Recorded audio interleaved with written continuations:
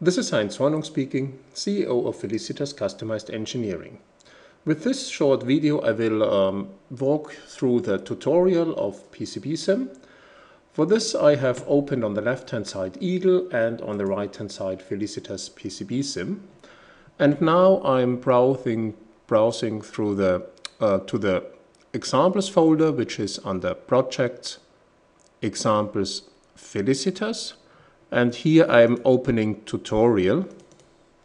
Here we go. And uh, the tutorial um, has two pages. The first um, page is a very simple schematic which has been or which has not been prepared for the simulation.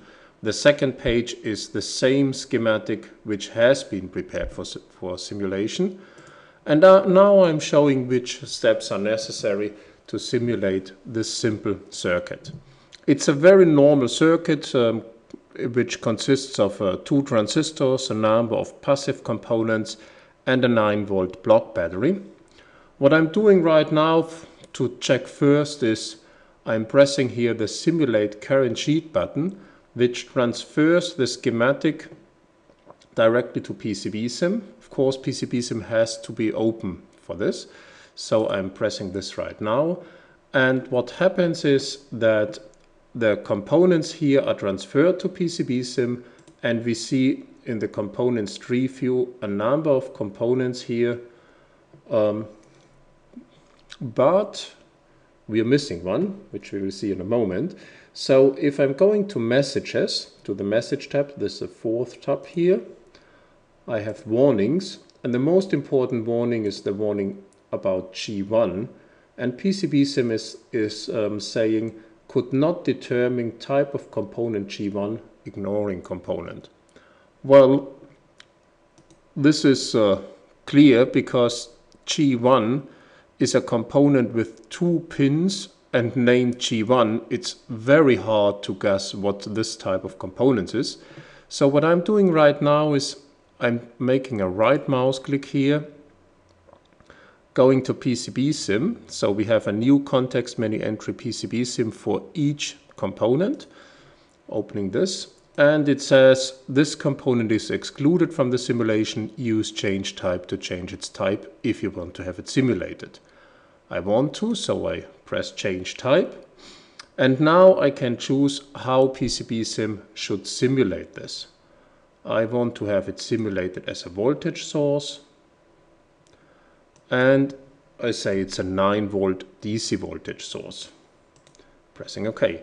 So what happened is these settings are now stored in attributes within the schematic of Eagle.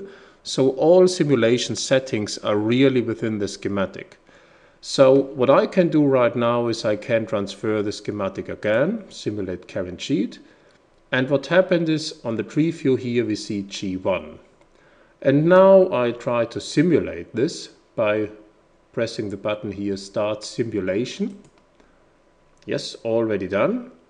Nothing to be seen currently on the screens. In order to see a certain signal, I expand a component, highlight any signal I want and press the spacebar. Now I can see the rectangle which uh, the circuit should create. Um, in order to more um, conveniently look at, at signals, I can add a so-called probe, um, which allows me to immediately show the signal or certain signals after the simulation. Um, and so I don't need to select it each time and um, uh, uh, make it visible again.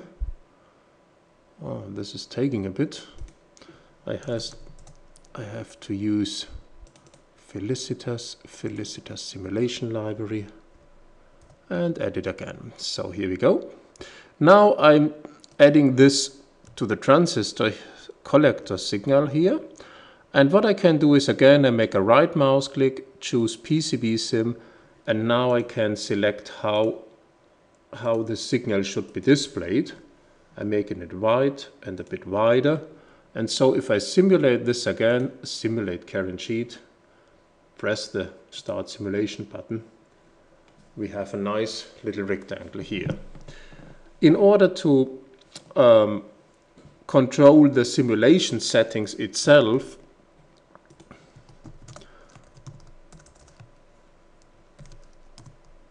we have to add a special symbol from our simulation library called sheet simulation settings. And this would now allow me to control all different settings for the transient analyzers, which we're doing right now, for example, how long we should simulate and in which steps. Then we could have DC sweeps, AC sweeps, and so on. There are all different um, examples which highlight these different possibilities. So this concludes our very short tutorial. Thanks for watching and bye for now.